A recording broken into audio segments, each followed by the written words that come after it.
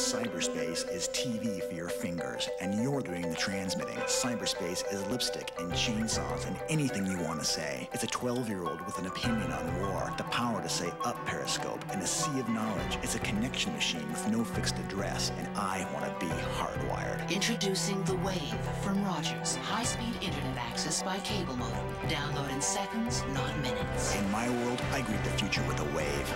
You're not gonna miss all this, are you?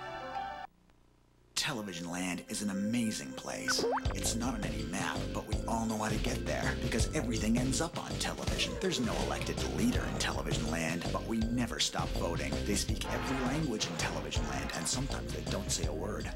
In Television Land, prime time's when I'm watching.